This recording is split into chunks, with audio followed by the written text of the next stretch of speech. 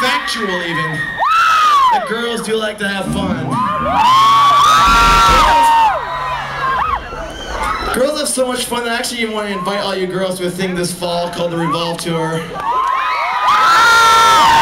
It's only for girls who like to have fun. No boys allowed except for Hawk Nelson. So, Hey, Jay, hey, what's up, Dan? only one exception. You have to bring your pet Cicada with you. What if mine's dead on the side of my face? Then you're lucky. Yeah, we're super excited and super blessed to be here. Thanks for spending your day with us or your afternoon. Uh, I don't really know what else to say except uh, we have a pretty exciting. I have an exciting game to play a little bit later.